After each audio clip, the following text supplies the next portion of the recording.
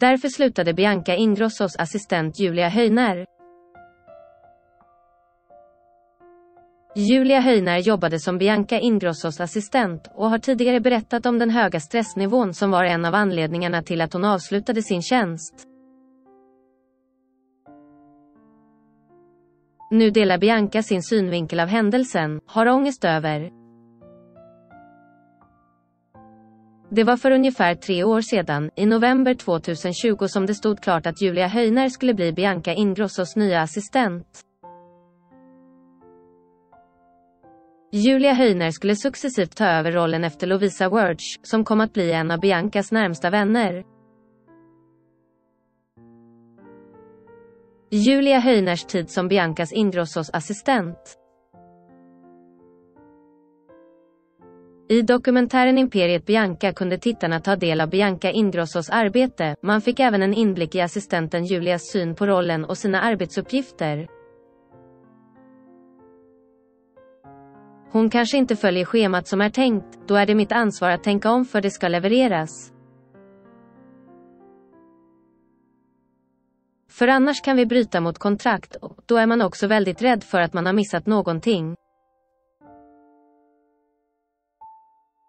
Min stressnivå för att hela tiden få det att funka är maximal, sa Julia i Imperiet Bianca.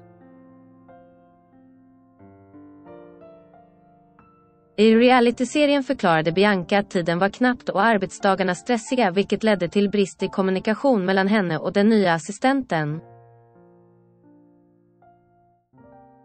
Det här är mycket att ta in och så har vi liksom inte tid, fuck vi hinner inte ens förklara att Julia så här kunde vi inte göra nu, för det är fokus kund och göra dem nöjda, så det har blivit ett lite, vad ska man säga, irritationsmoment från mitt håll, sa Bianca då och fortsatte. Vilket är jättesynd om Julia för hon vill ju bara göra gott. Hon vill bara att vi ska må bra, hon vill bara att Bianca Ingrosso AB ska rulla på och vara det bästa vi kan vara. Det pressade schemat ledde till slut till att Julia Höjner avslutade sin tjänst med Bianca Ingrosso. I Imperiet Bianca berättade Julia om den höga stressnivån hon kände och om hur hon tvekade på sin ork att vara kvar. Min stressnivå är väldigt hög, det är ett schema som är så extremt pressat. Alltså jag har ifrågasatt ganska många gånger om jag pallar det här, sa Julia då. Bianca Ingrosso bekräftade då även, i ett meddelande till Hent, att Julia inte arbetade kvar inom företaget. Det var länge sedan Julia slutade hos mig och det har jag berättat på mina sociala medier för fem månader sedan, skrev Bianca till Hent. Bianca Ingrosso delar sin syn på Julias tid som assistent. I det senaste avsnittet av podcasten Högt i tak med Rosanna Charles och Sanna Guidetti gästar Bianca Ingrosso. Hon delar då med sig av sina tankar kring sin tidigare assistent Julia efter att ha fått en frågan om vad som hände med henne. Alltså det var egentligen ingenting som hände egentligen, Julie fick en jävlig uppförsbacke när hon kom in. Hon kom in en period när jag mådde skit, säger Bianca och fortsätter. Jag mådde verkligen inte bra, jag och Filip hade det så dåligt, jag kom till kontoret varje dag och var ett nervvrak. Inte nog med att Bianca själv mådde dåligt så förklarar hon även att Julia kom in i företaget under en ovanligt hektisk tid, då allting började ta fart. Det var dessutom en period då Bianca var aktuell i ett flertal tv-program. Saker blev liksom för mycket på riktigt, det blev nya tv-program och varken jag, Lovisa eller Vanessa hade liksom tid att lära upp henne. Hon fick jättemycket i sin famn, på sina axlar, säger Bianca och fortsätter. Vi spelade in Valgrens värld, vi spelade in Talang och vi spelade in dokumentären.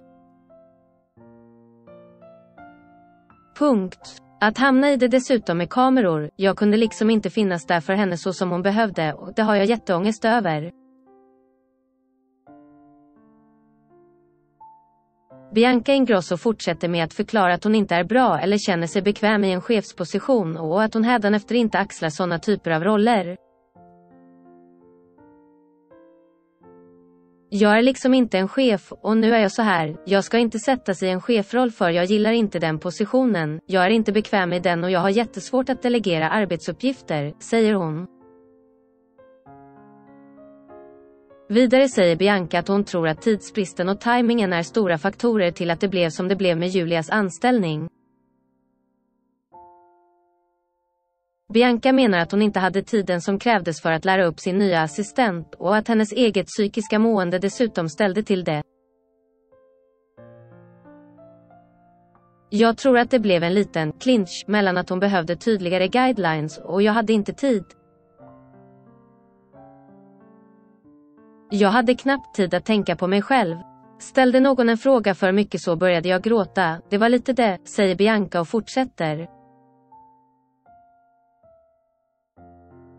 Hon gjorde absolut sitt allra bäst och hon gjorde inget fel, jag var bara inte på en bra plats i livet, vem som helst som hade kommit in då hade nog inte jobbat kvar.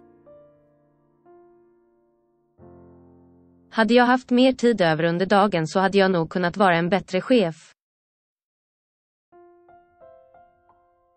Bianca avslutar med att förklara sin uppfattning av Julia Höjner som person och betonar att det var sorgligt att det blev som det blev. Hon påpekar även att det förmodligen hade sett annorlunda ut idag. Jag och Julia tog ett gemensamt beslut, vi var så ledsna, för hon är verkligen världens snällaste person. Hon vill aldrig någon någonting illa och inte jag heller egentligen, det var bara en dålig match just då. Hade hon kommit in i mitt liv nu så tror jag att det hade varit helt annorlunda, säger Bianca.